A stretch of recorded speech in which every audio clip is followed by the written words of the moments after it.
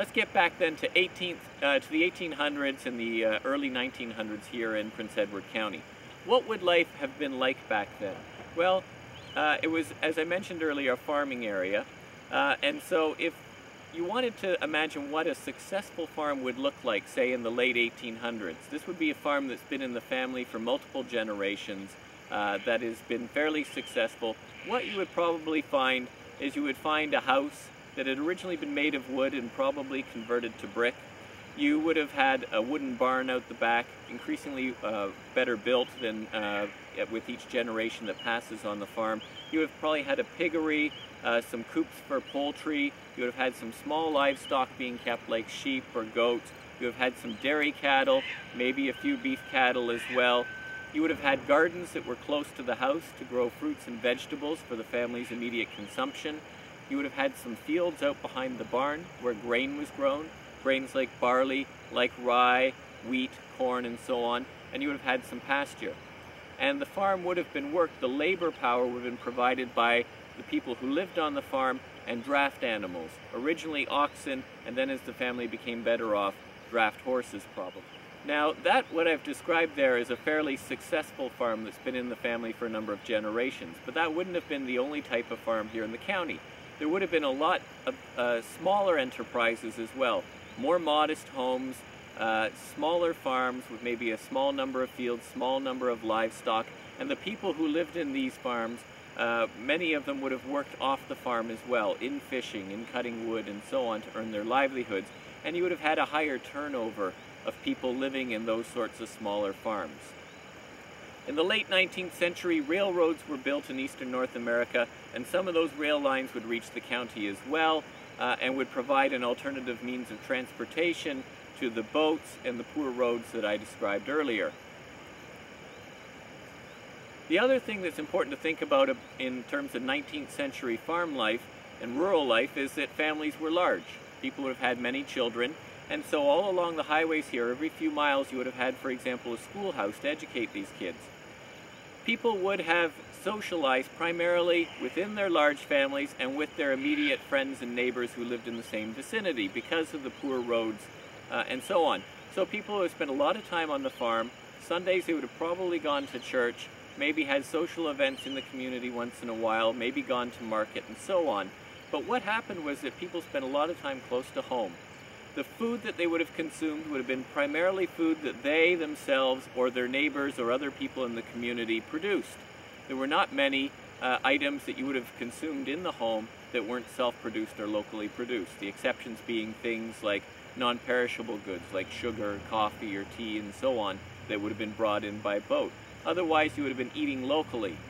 The clothes that you wore, with the exception of a, perhaps a good suit of clothes that you would wear to church, to weddings, to funerals, and so on, the clothes that you would have worn would have probably been made by, uh, by the mother of the household who would have made them out of raw cloth that she would have bought in the village at the local store.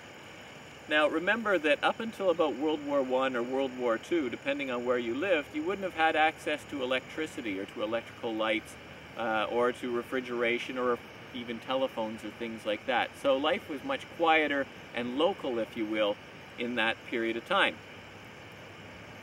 Now, because of that, the human relationship with nature would have been very different than the way it is today in Prince Edward County. The 19th century farm, your relationship with nature would have been very visceral, very tangible. In other words, what was happening was that every member of the family would have had daily ongoing interactions with the natural environment. Everybody in the family would have been familiar with working with animals, with uh, planting seeds and watching them grow, with understanding how cattle give birth to calves and so on. Um, everybody would have, you know, seen a chicken laying an egg. And today, that's not something that we're all that familiar with, most people. On the farm here in the 19th century, you would have gotten much of your sugar from tapping maple trees out in the woodlot. So people were actively involved with nature in a much different way than they are today. They would have been cutting wood, they would have been drawing water from wells, there weren't many doctors or hospitals in this part of the world at that time, so many of the medicines that you would have used would be home remedies, often from wild gathered plants and roots and so on. And the people who lived here would have, would have been able to interpret the weather to understand what was going on with nature simply through direct observation, by observing the movement of the wind and the clouds, uh, by looking at the changes in the wildlife and in the vegetation and so on. So a very different uh, relationship between people and nature in 19th century Prince Edward. As you can see, I've changed locations. I'm still in Wellington, but I'm no longer over on the beach. Instead, I'm in the village standing in front of an abandoned canning factory.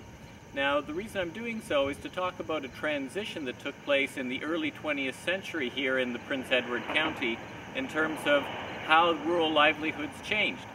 Uh, World War I and World War II had a big impact on rural Canada and particularly rural Prince Edward County because there was a few things that went on. One was that prior to World War I, most people sort of lived and worked and socialized and traveled in local regions and long distance travel was fairly rare.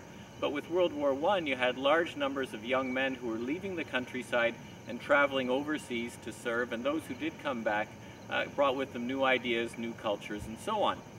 The other thing that's important about the war periods is that it changed the way farming was thought of. Farms had to become part of a larger enterprise, a larger effort to mobilize resources for the use for, uh, for the use of uh, the military service for conducting the war and so on. So what happened was there was more importance in terms of getting food from the farm and distributed more widely. And so you had a lot of mechanization that was taking place on the farms, horses being replaced by tractors, and horses being replaced by pickup trucks and so on. And you also had a change in the way food was distributed as well. And one of those was through industrial canning. Uh, people had always canned food to preserve food for use in the winter time. Uh, after all, up until the 1940s or so, not everybody had uh, refrigeration or electricity. So people would take the harvested food and they would put it in glass jars and can it and store it through the winter. Well, what took place in the early 20th century was an effort to have industrial canning, where you actually had companies that were coming in and establishing canneries like this to put the produce in tin cans for shipment elsewhere. Now, we don't have, as far as I'm aware, I don't think there are any working canneries today in Prince Edward County. And there's a couple reasons for that. One is that people don't eat tin food anymore. Uh, you can go into a grocery store in January and buy a fresh peach or a fresh strawberry that's brought in from South America. So unless your tastes run to uh, preserve food, there's not really any need to buy it anymore. The other thing is that uh, present-day industrial canning factories require a lot more food uh, to be brought into them uh, to, to operate successfully, much more food than can be produced here in Prince Edward County.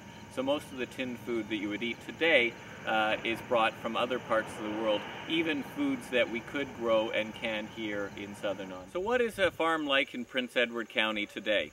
Well, there's a variety of different types of operations. But one of the more common types is one where the farmer has field crops of corn and soybeans supplemented by some hay or other pasture crops.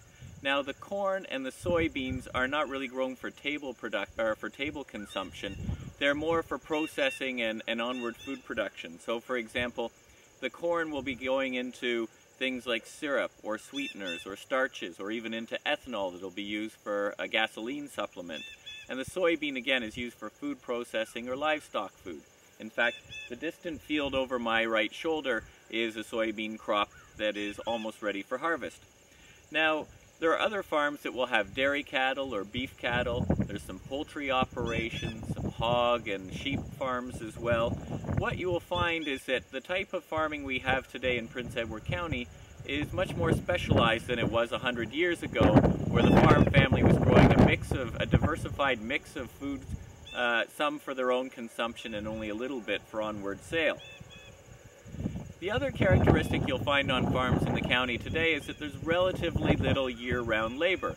Now most of the farms are family owned and operated, but beyond the fa immediate family, uh, they only bring in labor when it's needed, and often this labor comes from overseas, from the Caribbean or from Central or South America. Farmers in the county are getting older, and that's pretty common across rural North America young people leave the farm, they go off to study, to college, to university, and they tend not to come back. Again, because there's not a lot of need for labor on the farm. The average age of farmers is going up, and many farmers are actually getting out of the business altogether, which means their lands are being sold or rented to neighboring farmers. one of the realities of farming is that farmers tend to have a lot of money tied up in their land or their equipment. They tend not to have a lot of cash flow in terms of cash income from their crops, and when it does, it varies a lot from one year to the next. So it's not a very easy business to get into if you're not already part of it uh, through your family. Now, there's a phenomena that's happened in the last 20 or 30 years or so here in the county that's changing the look of farming. And it's not traditional farming like I've just described, but it's a growth in small-scale market gardening of fresh fruits and vegetables, orchards, vineyards, and an agritourism industry is booming as well.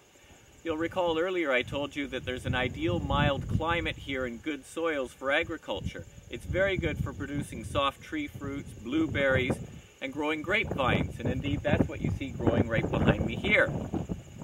Now, those conditions of soil and climate always existed here, so what happened in the last 20 or 30 years to uh, spark this interest in things like grapes? Well, three social phenomena that happened in North America have probably contributed to this. One is that over the last generation or two, North Americans have switched their consumption of alcoholic beverages from hard liquor and beer to more wine. And so that's one thing that's going on. The second is, more recently, an interest in local food, and maybe you've heard of the 100 mile diet. There's a lot of culture going around into better quality food consumption. And the third phenomena, social phenomena, is something that social scientists sometimes call the pre-elderly phenomena.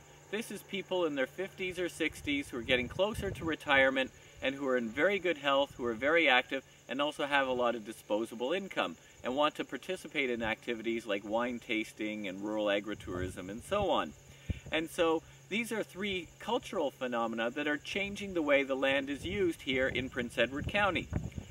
And the county has a great set of environmental conditions to set the stage for an economy where tourists can come in and visit the county and eat great local food have a glass of wine, a very good glass of wine, and then go for a walk on a beach. And there's not too many places in Ontario where you can do those three things. What we're getting, therefore, is a different rural society today.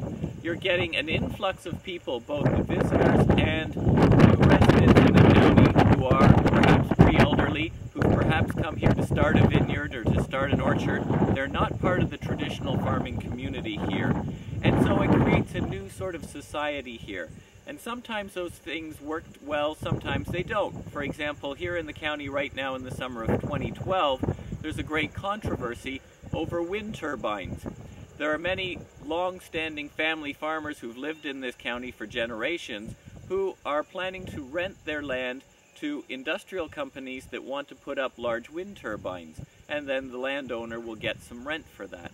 Whereas the people who own the vineyard, the vineyards, the wineries, and so on, they're a little bit less keen about wind turbines. They're worried about the effects it'll have on agritourism. Will it be visual pollution? Will people not want to come to the county if there's a lot of wind farming going on? So there's a lot of sort of uh, disagreement and even small-scale conflicts in certain parts of the county over how the land should be used and what's the appropriate way to do things. Another thing that's changing is the nature of the villages and towns in the county as well. In the village of Wellington that I showed earlier, you can't buy a liter of gasoline. There's no gas station. But there are three fancy restaurants where you can buy a non-fat latte and a very good meal. And so what is happening is that the types of services being provided in the towns and villages are catering more to the new resident and the visitor and less to the established resident who simply wants to buy a liter of gas and uh, a bag of groceries.